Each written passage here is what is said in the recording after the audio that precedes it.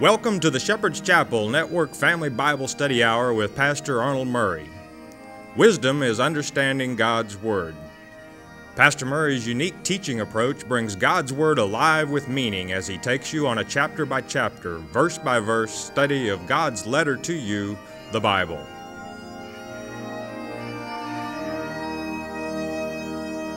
And now here is Pastor Arnold Murray. Good day to you. God bless you. Say, welcome to the Shepherd's Chapel. Welcome to this family Bible study hour. Ready to get back in our Father's Word. Revelation chapter 8. 8 always means new beginnings. We're going to break out the trumpets in this chapter. You want to remember the seals, which we have covered, except for the seventh, are to put in your forehead. In other words, it is a teaching field whereby you must absorb what it is our Father intends to do, for He will always foretell you everything. If you really love Him and serve Him, He's not trying to catch you off guard, to trick you, or test you beyond what you can handle. But here we come now to the trumps. What does a trumpet do? It executes the command. In other words, the seals are not in chronological order as far as events are concerned. The seals are in chronological order as to the importance of the fact you should know. This is why that the first seal is the coming of the false Christ. That's foremost. You need to know that that the false Christ comes before the true Christ does, or you're going to be deceived. So that's what the seals are for, is that teaching. And remember that parenthetical chapter number seven, which we just completed, holds the end times until all of God's elect are sealed in their forehead, that is to say, in their minds.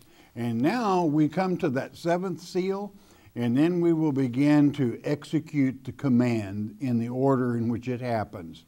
So pay attention, real good information. So, with that word of wisdom from our Father, chapter 8, the great book of Revelation, the uncovering. And remember always that John was taken to the Lord's day, first day of the millennium, so that you can see these things transpire. Verse 1 And when he had opened the seventh seal, there was silence in heaven about the space of half an hour.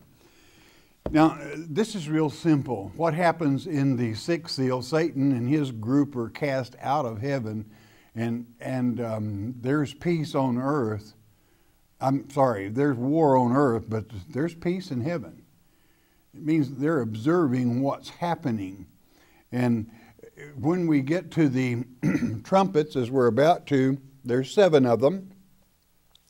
The first four have to do with. Um, with various events, but the last three are woe trumpets. That's where you want to be very careful when those woes begin to fall because they happen right here on earth. So, verse 2 And I saw the seven angels which stood before God, and to them were given seven trumpets. These are orders that will be given at the moment of execution. Verse 3 And another angel came and stood at the altar, having a golden censer, and there was given unto him much incense, that he should offer it with what? With the prayers of all saints upon the golden altar which was before the throne. And this, this goes all the way back to an, another chapter where God said, All your prayers are in, in the vial, in, in, they're, in, they're bottled. They're here before me. And this is just like um, in chapter 6, verse 9, I believe it was, where those under the altar that had shed their blood on earth, wanting to know, How long, Father, before you avenge our blood? This is, this is the prayers, and this is the answer to those prayers. As that incense goes up, the prayers before Almighty God. Verse 4 to continue. And the smoke of the incense, those prayers, which came with the prayers of the saints, ascended up before God out of the angel's hand. Don't ever think that God doesn't hear your prayers. The trump executes the answering thereof. Verse 5 And the angel took the censer and filled it with fire of the altar and cast it into the earth. And there were voices and thunderings and lightnings and an earthquake. And certainly that's the preparation for the first trump when you begin to see those things and you see them come to pass. We've always had earthquakes, but the ring of fire is exactly that it's on fire, where you get a double hammer and triple hammer and major earthquakes. Kind of enough to get your attention in these end times. Verse 6 And the seven angels which had the seven trumps prepared themselves to sound, execute the command. Verse 7 The first angel sounded, and there followed hail and fire mingled with blood. And they were cast upon the earth, and the third part of the trees was burned up, and all the green grass was burned up. this happens on the earth, and it is um, naturally, when we speak of a third, it was a third of God's children that Satan deceived in the first earth age. And it usually has to do with that part that can be deceived, and most usually are. Verse 8 And the second angel sounded and as it were a great mountain burning with fire was cast into the sea, and a third part of the sea became blood. There again, you always have that third. That, that, well, what has happened here? A third of the people are spiritually dead. That's where the blood comes from, spiritually speaking. And, well, how do you know it's talking about people? Well, I'm going to read something to you. You're not going to have it, but I'm going to read from chapter 17, verse 15 of this same book, Great Revelation. I want you to know what that sea and the water is. Revelation chapter 17, verse 15. And th- this is a translation or an interpretation by Almighty God Himself, so don't you hanky with it. It isn't there for man to interpret. God is interpreting it for you. Verse 15, and he said unto me, The waters which thou sawest, where the whore sitteth, that's to say, the deceived ones, are peoples and multitudes and nations and tongues. So the very water itself is people, beings, a whole sea of them, a mass of them. So that's what's being that's what's being deceived here. That's why the blood is pouring forth, spiritually speaking, to deceive a third of God right out of the, I mean just coming out of the there'll be more deceived than that. But coming right out the gate, uh, Satan harvests a third of them. And and uh, they are just spiritually dead. Well, how could you say, brother? They, many of them are Christians. You got that right. But the minute a Christian starts worshiping Satan instead of Christ, he's no longer a Christian. But they didn't know. Well, God's warned them. He sent them this letter that they should have known. If, it, if they had paid any attention even to the first, very first seal, Antichrist comes first. Here he comes. and he's going to deceive as many as he can. Let's go with the next verse. Verse 9. And a third part of the creatures which were in the sea and had life died. Now what, but now, what is this sea? Again, it's the people and the nations. A third of them spiritually dead. And the third part of the ships were destroyed. That commerce, even, the world trade, going bad going to be done away with. Verse 10 And the third angel sounded, and there fell a great star from heaven, burning as it were a lamp. And it fell upon the third part of the rivers and upon the fountains of waters. And uh, naturally, we, we know what that is. And, If you've studied God's Word, you know what it is. What did Christ teach, I mean, himself in Luke chapter 10? You're not going to have it, but make a note. Luke chapter 10, verse 18, the teachings of Jesus Christ after the 70 returned. And he said unto them, I beheld Satan as lightning fall from heaven. Lucifer means bright and morning star. Be, behold, I give unto you power to tread on serpents and scorpions and over all the power of the enemy. How, how much is that? All the power of the enemy. And nothing shall by any means hurt you. Now, I, I don't know. Do you believe the Lord Jesus Christ, or do you like to fear fear itself and tremble in your boots over nonsense that men can put forth? God knows how to take care of his own right in Satan's face, right in his camp. Notwithstanding, or not, not just because of that, in this rejoice not that the spirits are subject unto you, that's to say, even the evil ones, but rather rejoice because your names are written in heaven. And you don't have to worry about it. Written where? Written in the book of life with God's almighty blessings, His election, those that cannot be deceived. Why? Because they have the seals in their forehead. That's knowledge and wisdom and understanding. And you know that that one is going to fall. And and uh, understand, we're not yet to the sixth trump. But what I want you to be aware of is his influence even at the third trump on earth. It's already here. The influence, I said, not him, but the influence. And you better be prepared for it. You, you, you don't want to be caught asleep. Continuing, returning then to the eighth chapter of the book of Revelation, we'll pick it up with the 11th verse. And the name of the star is called wormwood. That's bitterness. And the third part of the waters became wormwood. They were bitter also. And many men died of the waters because they were made bitter spiritually.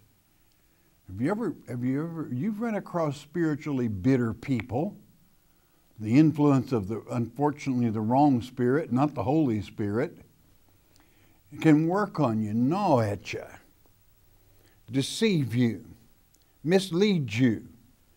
And men, men like to prattle.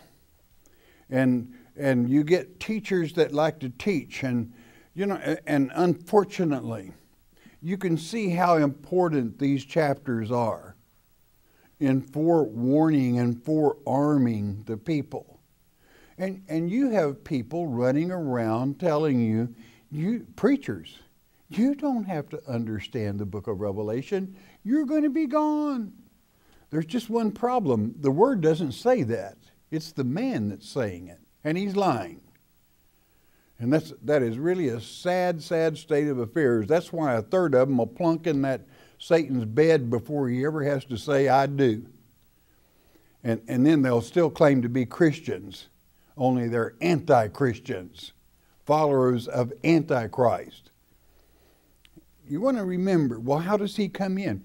He comes in prosperously and peacefully. He does not come in with war threats, bombings, dangers. Just the opposite peace. What's the opposite of wars and rumors of wars? Christ told you it's not yet as long as you hear wars and rumors of wars, but peace, world peace. And he comes in prosperously and peacefully. And many Christians are ready to pop right into his pan. Okay. I mean, ready for the taking especially when his message is, I'm going to fly you out of here. And the sad part is, he's not going to fly you out, he's going to fly you down, down into the lake of fire. It is so important that you grow familiar with the letter your Heavenly Father has sent you. this book of the unveiling, this book that makes known the apocalypse, this book that lets you know step by step, all seven steps, exactly how it's going down. And when you take the six seals, you have one seven set of, the seven seals rather, you have seven steps. The trumps are another seven steps. The vials are yet another seven steps, all from a different profile where you cannot go wrong if you'll pay attention. So here we have this one called wormwood, and he deceives many people. Is it not strange that uh, we had a great event that happened after the fig tree was set out in Jerusalem? It happened in Russia, at Chernobyl. Chernobyl in the Russian tongue is wormwood, bitterness. Boy, it was a bitter thing that happened there. That's not going to happen to the world, though. How precious our Father is. Um, that happened in the third angel, that the evilness of the world was already beginning to work. The de facto does not happen until the fifth. Then that's a time of teaching. But the sixth is when the action really starts, right here on earth. Uh, that's why you want to pay very close attention to the woe trumps. See, these are not woe, woe trumps we're reading here. It's just building up to it. Don't, don't, don't try to, don't get frightened when you're, the infantry is here because the cavalry's coming and you don't have a thing to fear. Why? We just read in, in um, Luke 10. You have nothing to fear. God is on the throne, God is in control. Verse 12.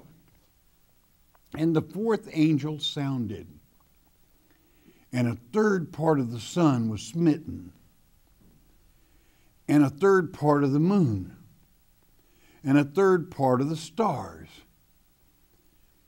so as the third part of them was darkened, and the day shone not for a third part of it, and the night likewise. Well, the appearance of the false God. You see, this is the same uh, prelude as it would say to the coming of Christ. The moon will not give her light, so so forth, but it has to do with the brightness of his coming. But this darkness is caused by the smoke coming from the abyss, the pit, the shadow of the locust, as the locust army goes into action. That, that's spiritually speaking, but you want to be prepared for it. Again, I want to remind you we're on the first day of the millennium at this writing. John was taken there, and he could see these things transpiring, which are happening in your lifetime, the generation of the fig tree. So it really gives you a mirror to what tomorrow brings. And in the chronological order of events, in the trumps, because they execute the command. Verse 13 And I beheld, and I heard an angel flying through the midst of heaven, saying with a loud voice, Woe, woe, woe! To the inhabitants of the earth by reason of the other other voices of the trumpet of the three angels which are yet to sound. Now, the more ancient manuscripts do not have the word angel here. They have the word eagle. And God likes to use analogies because if you've ever been out in a lonesome valley, in the desert or anywhere where it's perfectly still and you hear the scream and the cry of an eagle, it's awesome to give you the urgency of these final three woes. Uh, just in case you don't understand, woe is not good news okay, for those that don't know any better. Woe does not, woes do not affect those that do know better that have promptly, efficiently, and wisely have placed all seven seals in their forehead, that's to say, in your mind, whereby you are forewarned of those events as they transpire, you can't be deceived. So even when the eagle cries the three warnings of the three vote woes, you've got nothing to worry about. Because even what, what, when we read the 10th chapter, and Jesus had just instructed who? 70 disciples that returned to him and said, Jesus, even the evil spirits had to mind us. That's what he's talking about. Even the evil must obey God's own elect. When even at the time when that false one is here, that star falls from heaven, you got nothing to worry about. Do not fear, but rather revere Almighty God and thank Him for giving you the knowledge and the wisdom to know and to understand the very trumps and seals. It all fits into place and it's all laid out by our Heavenly Father where nobody can go wrong. Okay. Now, we come to a very important trump. And the fifth seal dominated it for you, where the children cried out. It kind of tells you what the remainers of saints elect must do. Chapter 9 and verse 1. And the fifth angel sounded, and I saw a star fall from heaven onto, onto the earth. And to him was given the key of the bottomless pit. We're going to turn him loose. I mean, Satan's going to be released on earth. That's why it's a woe trump. That's nothing for us to have to worry about, though. Don't have to worry about one iota thing about it. Verse 2 And he opened the bottomless pit, the abyss, and there arose a smoke out of the pit. That's what darkened the sky. As the smoke of a great furnace, and the sun and the air were darkened by reason of the smoke of the pit. This is going to cause many people to think the true Christ is returned if they're uneducated, if they're uninformed, and if they have not the seals of God in their forehead. Verse 3 And there came out of the smoke locusts upon the earth, and unto them was given power as the scorpions of the earth have power. Now, you, you have to keep up with our Father. This lets you know, number one, they are not literally locusts. He's using locust as an analogy whereby you have the four stages of the locust to understand Satan's little tricks, the tricks of his people, his army. The scorpion is brought into it for a very special reason. And when, when our Father uses an analogy, you want to take time to study that, to know and to understand it. Well, uh, it said right there that as scorpions of the earth. Well, how does the scorpion have power? There you're getting to the point. The scorpion has a long tail with a stinger on it. But there's, and he has two little pinchers up by his mouth. There's a strange thing about a scorpion, it doesn't have a stomach. Scorpion has no stomach to digest food. That's why God brought him, the scorpion, into this place. So, well, what does the scorpion do then? The scorpion takes his tail and addles his victim, poisons it, and then grabs it with his little pinchers of its mouth, and a little plain, but he regurgitates his digestive juices into the skin of the victim, and the victim becomes his stomach. In other words, it turns your backbone to mush. And that's the way Satan operates. He literally poisons the mind and turns the backbone to mush where he automatically has a third following him coming out the gate. It is so simple if you and naturally then the scorpion uh, partakes of the juices that his stomach digests and he's quite healthy. And the victim is a goner. That's what you don't want to become. Well why would god go to the trouble to explain all that? Because it's needful.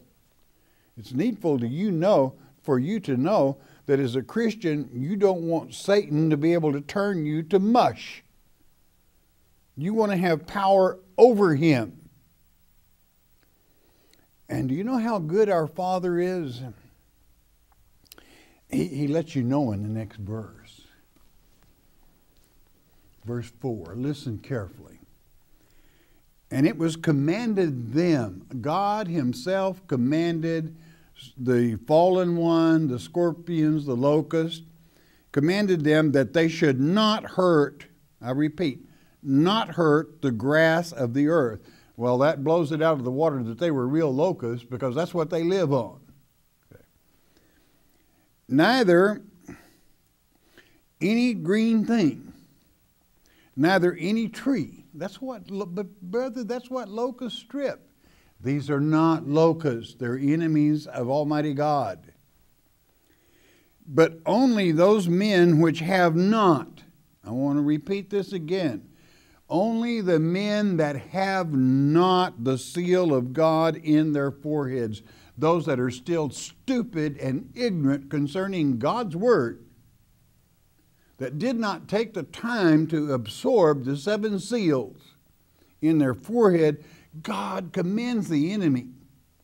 You, you leave them alone. You cannot touch them. And he's about to, he will soon tell them, you can't even kill the others. You can sting them, you can turn their backbones to mush, but you can't kill them. But you can't even touch God's elect that have the seal. Why? Well, they're too smart. They know better. They have power over the enemy. And they're able to exercise that power and that authority. Do, do you know do you know where this is spoken of?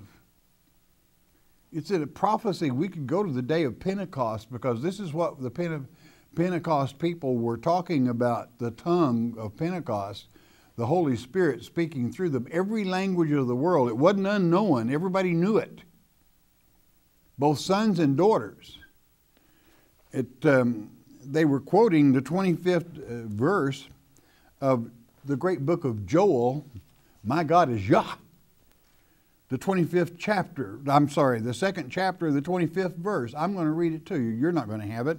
And I will restore to you the years that the locust hath eaten, and the cankerworm, the caterpillar, and the palmer worm, my great army which I sent among you. All four stages of that locust as they gnaw on this earth, as they deceive governmentally, politically, and commercially bringing us into the position of that fifth trump. 26, and you shall eat in plenty and be satisfied. And praise the name of the Lord your God that hath done dwelt wonderfully, wondrously with you, and my people shall never be ashamed. Why? You got the seal of God in your forehead. And you shall know that I am in the midst of Israel. I'm there with you and that I am the Lord your God and none else, and my people shall never be ashamed. Two times for emphasis. 28, and it shall come to pass afterward, not maybe, afterward, that I will pour out my spirit upon all flesh, and your sons and your daughters both shall prophesy.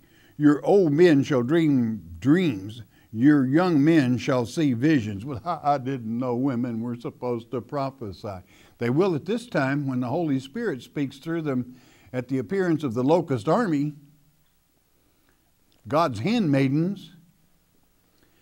29 And also upon the servants and upon the handmaids in those days will I pour out my spirit. Well, what day is that, brother? During the locust army. We're reading about it in the book of Revelation.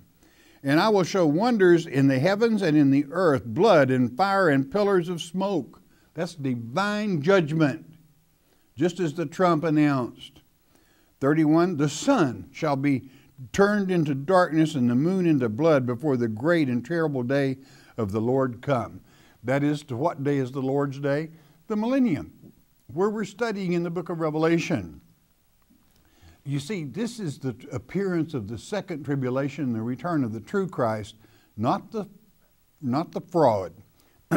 32 to complete. And it shall come to pass that whosoever shall call on the name of the Lord shall be delivered. For in Mount Zion and in Jerusalem shall be deliverance, as the Lord hath said, and in the remnant whom the Lord shall call. I, I don't know, has He called you? Have you had that call? He gives it to you in the book of Revelation, He gives it to you in the whole Word, calling you to not be deceived, calling you to serve Him, calling you to be one that He can count on one that he can be assured of sons and daughters. That's what happened on Pentecost Day when Peter would say, This is that that was spoken of by Joel the prophet. That's only then and then only will that Pentecost tongue be spoken.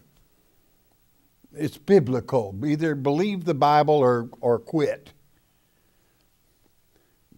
For it is a wonderful, beautiful time. And no one can ever find anything written in Acts chapter 2 that the Pentecostal tongue is unknown.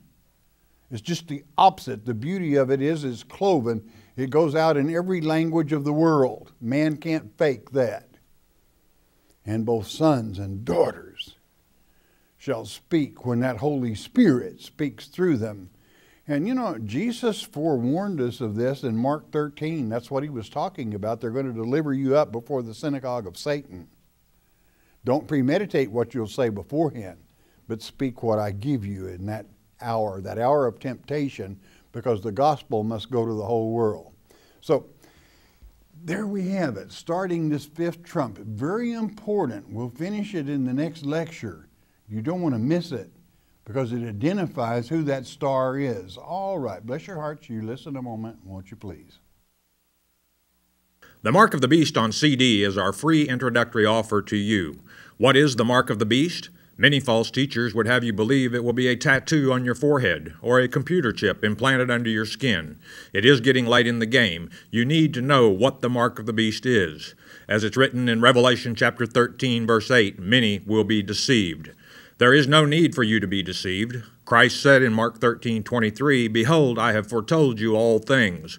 Jesus indeed told us how not to be deceived, and Pastor Arnold Murray takes you on a step by step study of God's Word concerning this critical subject, the mark of the beast. The telephone call is free. The CD is free. We don't even ask for the shipping and handling. It is free as well. All you need to do is call 800 643 4645 to request your one time, one per household copy of The Mark of the Beast. You may also request your free CD by mailing your request to Shepherd's Chapel, Post Office Box 416, Gravette, Arkansas 72736. Don't be deceived by Satan. And there we are back again. Let's have the 800 number, please. 1 800 643 4645. Hey, that number is good from Puerto Rico throughout the U.S., Alaska, Hawaii, all over Canada. If the Spirit moves and you have a question, you share it. Once you do that, please never ask a question about a particular reverend, denomination, or organization. We do not judge people. God's Word judges people because God is the judge. And certainly, spiritual discernment falls on the part of those that have eyes to see and ears to hear to know who you should fellowship with and who you should not. But always send as a helpmate to those that are interested in learning and knowing truth. How, how blessed it is. Those of you that listen by shortwave around the world, it's always a pleasure hearing from you, and your announcer at the end of the hour will give you our mailing address. You got a prayer request, you don't need the number, you don't need an address, and you know why. Because God knows what you're thinking. Right now, He does. He's got time for you. He created you for His pleasure. Revelation chapter 4, the last verse, remember? And when you return that love, it gives Him great pleasure and that brings blessings. Okay. But let Him know you love Him. That's what He wants from you. Hosea 6 6. I do not want your burnt animals. I want your love, grace, mercy. Okay. That's our Father speaking. Let him know you love him. It pays great dividends. Father, around the globe we come. We ask that you lead, guide, direct, Father, touch in Yeshua's precious name. Thank you, Father. Amen. Okay, and we got Jody from Illinois. Um, thank you for your comments. Uh, did Jesus feed 5,000 men and with two fish and five loaves of bread? Or was it the word of the Lord? No, he, no, he literally did. It was a divine intervention. But the, as you would learn in Matthew chapter 16, the thing he wanted people to be most aware of is that when, when, they, when he blessed those ingredients and had people by 50 sit in order Christ then gave the loaves to the disciples. They did the feeding. feeding. That's what disciples are to do today, is to feed the Word of God. But when they picked up the fragments, this is in, in Matthew 16, Jesus said, I'm not talking to you about bringing bread. I'm talking to you about picking up fragments when you have a large group together that are doctrines of men, not my doctrine. So that's what you want to be careful of when you have large gatherings, because you're always going to have some doctrine of men there that turns away from the real Word of God. That was this morning from that. Um, Teresa from California. Um, could you please tell me what semper fi means, and also is it proper for a civilian to say that to a former Marine? No such thing as a former Marine. Once a Marine, always a Marine. And semper fi means always faithful. And it's, it's a wonderful thing for you to say it to them. They'll, they will appreciate it. And um, thank you for um, being with us. You know the trumps by the events that transpire. Uh, Melissa from, Melissa from uh, Georgia, could you please explain the part in the Bible about women and their long hair? Is it a sin for us to cut our hair or wear it short? Absolutely not. The main thing you want to know and understand about 1 Corinthians chapter 11 is what verse 10 says. Verse 10 says, a woman should always be covered, but it's talking about using Christ for your covering, not your hair. That's just an interpretation of man.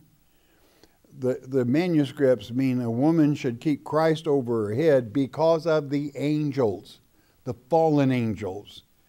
That's what the woe trumps are about. They're going to be thrown out of heaven. The fallen angels are, and they're coming back. And as Jesus taught in Matthew 24, hey, just before I get back at the second advent, it's going to be just like it was in the days of Noah. They're going to be giving and taking in marriage again. And, and um, fallen angels and evil religious people like to seduce women into doing their dirty work. Nothing new about that. Even blowing themselves up, and that isn't that holy? Doesn't that seem so peaceful and so um, reasonable. And of course it doesn't because it's idiocy. Okay. But uh, that's, that's why it has nothing to do with your hair. You keep Christ over your head because of the fallen angels. Again, as I said, Christ taught in Matthew 24 it's going to be just like it was in the days of Noah. The fallen angels were taking the daughters of Adam to wife. And Geber were born, unfortunately. It's going to happen again. They're going to when we get to Revelation chapter 12, you'll find out.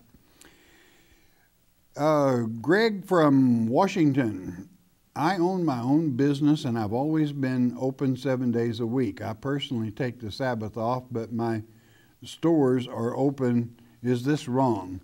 Not when you have to compete in this world. The and the better the day, the better the deed when it comes to to survival in Satan's little part of the world.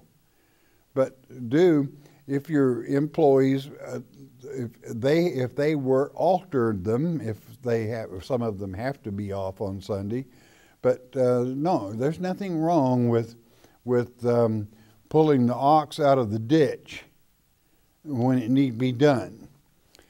Well, what was an ox? Well, that, that was what you worked with. Your business is what you work with. If, and you have to compete. No problem. Uh, Tammy from Georgia. Um, I've just started watching you and I've been enjoying your teaching. Thank you. You're welcome. Question Some people believe that not all Christians will go to heaven. They go by the scriptures, Luke 12 32. Well, all Christians go to heaven. If a person remains true to the true Christ, they're going to go to heaven. But if a Christian is a Christian in name only and never studies the Word of God, in this generation, these scriptures that foretell us all things are telling us a lot of people are going to be whoring around before it's over with with a false God. So a person can call themselves Christian, but when Antichrist comes promising peace and love and flying you away, you, you start worshiping Satan, you're no longer a Christian. I don't care. Uh, and, and your salvation, Christ saved you, but you left it and turned to another so called Savior, only He's taking you straight to hell. So it's very important that you cannot, uh, um, when, when you hinge your salvation on two or three little simple scriptures instead of all of God's Word, the truth, the loaf, the whole loaf, then you got trouble because you're going to be deceived. And uh, many might say, well, I thought Jesus was understanding. Well, how can, how can um, Jesus, he is, he is very understanding. That if you were in bed with Satan, this is why he would say in Mark 13, Woe to those that are with child and that give suck when I return.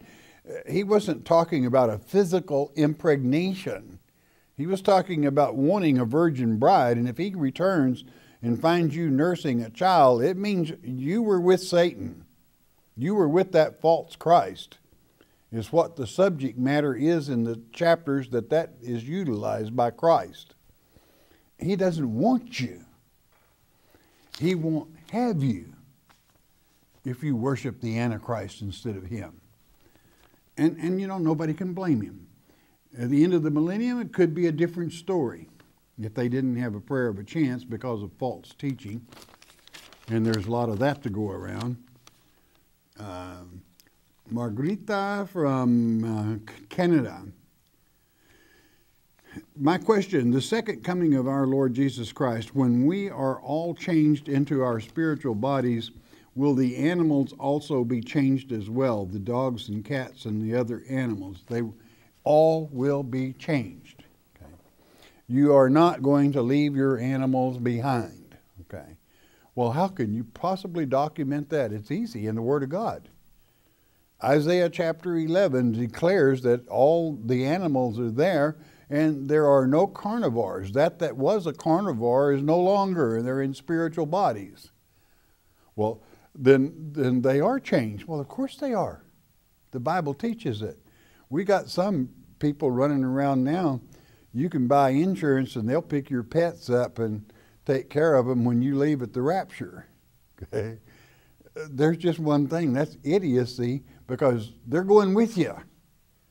Isaiah 11 documents it.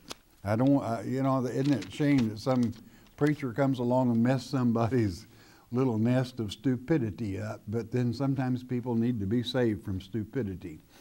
Candace from Kentucky.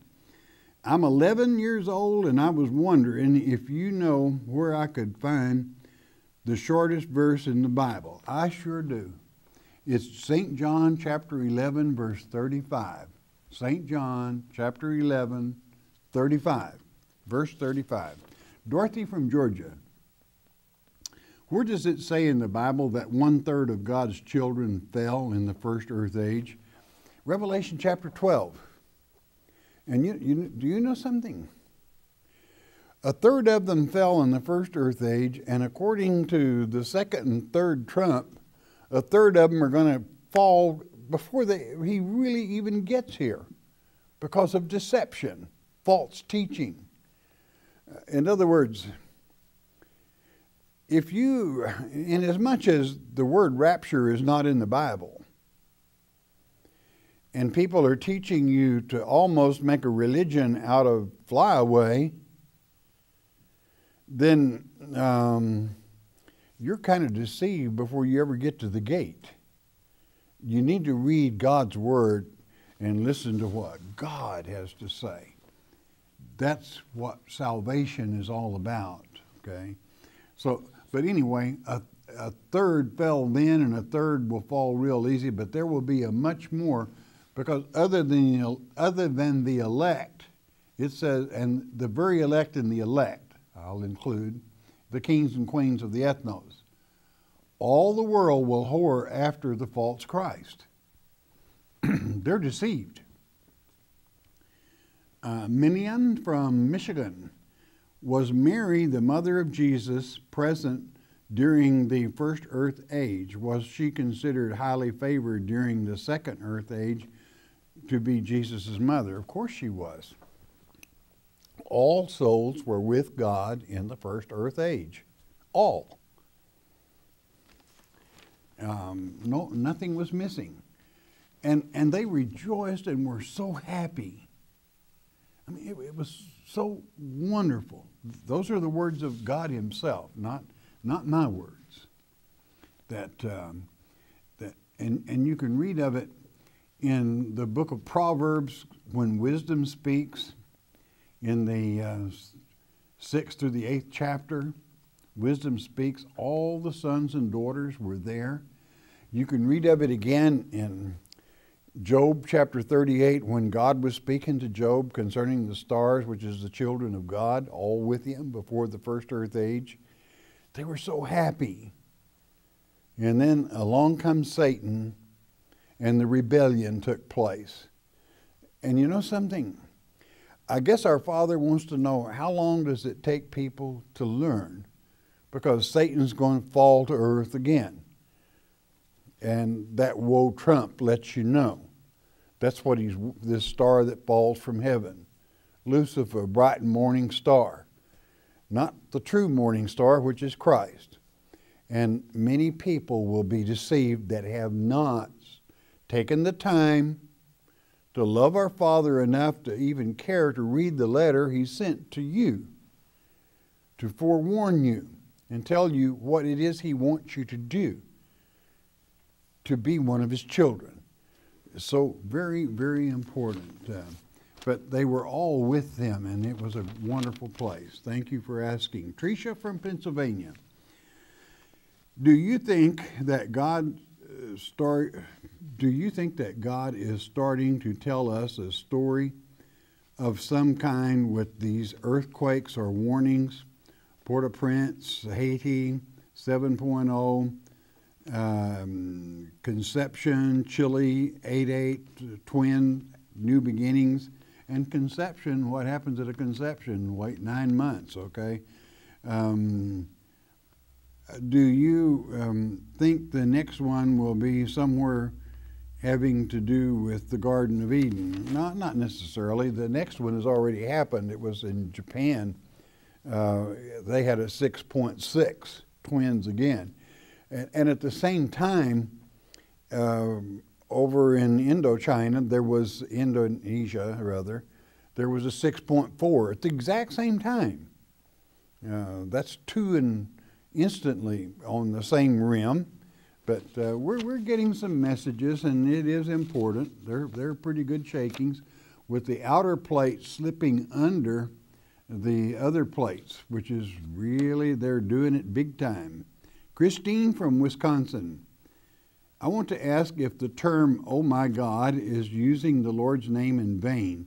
It bothers me when I hear a person say it um, all too often. And I always point it out to them, asking them to use some other term. Is this a sin or not?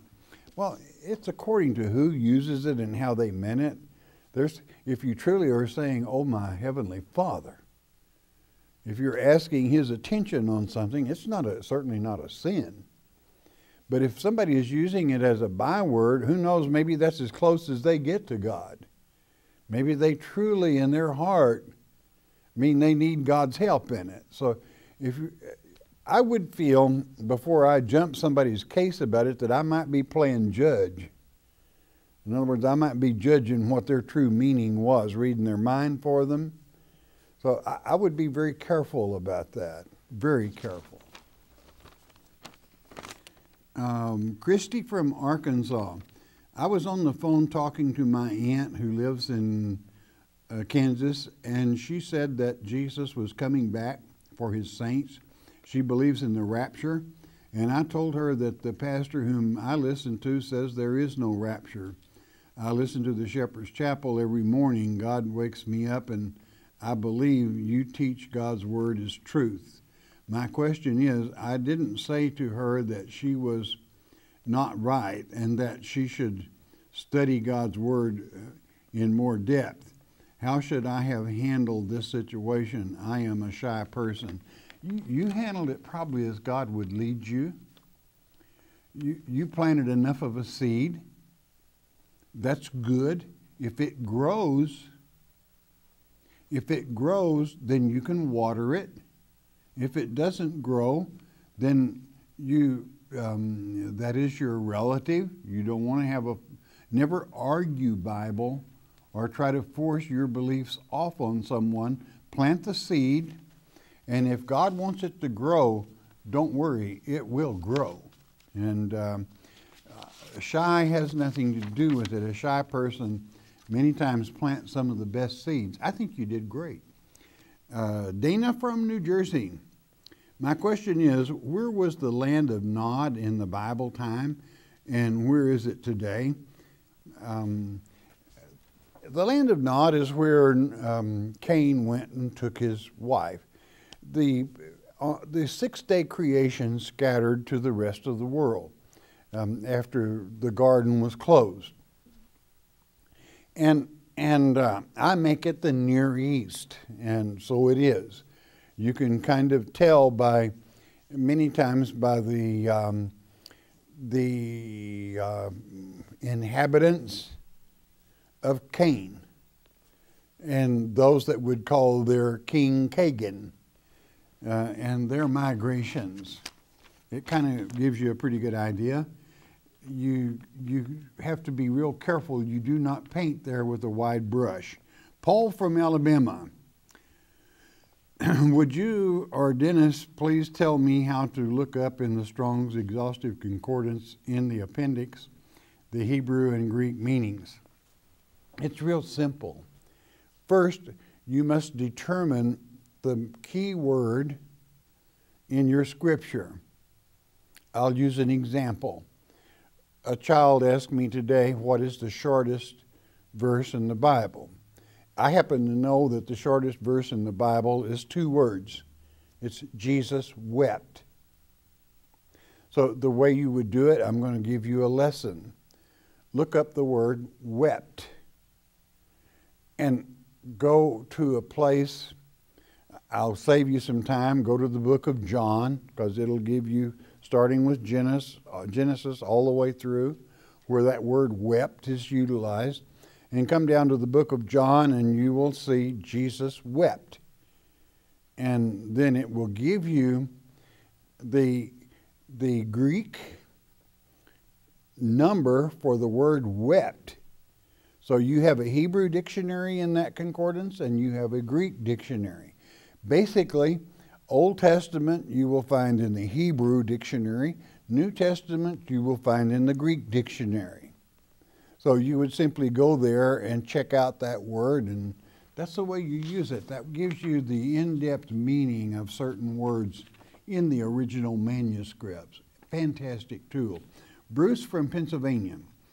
I heard you say you have to earn your salvation. Where is this explained? You probably have never heard me say you have to earn your salvation. Your salvation is free, but you do have to earn your white linen that your garment is made out of. Okay? That's real easy to document. Revelation chapter 14, verse 13. The only thing that can go with you from earth is your works. And then when we get to the 19th chapter of the great book of Revelation, it will tell you that the white robe that you wear is woven from fine linen created by your righteous acts. If you don't have any righteous acts, if you haven't earned any righteous acts, you may be saved, but you're going to be naked as a jaybird in heaven. Not a pretty sight, okay? But uh, you do not earn salvation. Christ paid the price for that. But intuitively, I'm out of time. Hey, I love you all because you enjoy studying our Father's Word. Most of all, God loves you for it. You know, when you read the letter He has written to you, it makes His day. And when you make his day, boy, is he going to make yours. It pleases him. We are brought to you by your tithes and offerings. If we've helped you, you help us keep coming to you. Once you do that, you bless God. Again, I want to say it. He will, he will always bless you.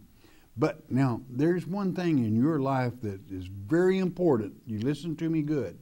You stay in His Word every day. In His Word is a good day, even with trouble. Do you know why? Because Jesus, Yeshua, is the living Word. Hearing God's Word with understanding will change your life. We hope you have enjoyed studying God's Word here on the Shepherd's Chapel Family Bible Study Hour with Pastor Arnold Murray. If you would like to receive more information concerning Shepherd's Chapel, you may request our free introductory offer. Our introductory offer contains the Mark of the Beast audio tape our monthly newsletter with a written Bible study, a tape catalog, and a list of written reference works available through Shepherd's Chapel. To request our free introductory offer by telephone, call 800 643 4645 24 hours a day. You may also request our introductory offer by writing to Shepherd's Chapel, Post Office Box 416, Gravette, Arkansas 72736. Once again, that's Shepherd's Chapel, Post Office Box 416, Gravette, Arkansas 72736. We invite you to join us for the next in depth Bible study each weekday at this same time. Thank you for watching today's program, and God bless you.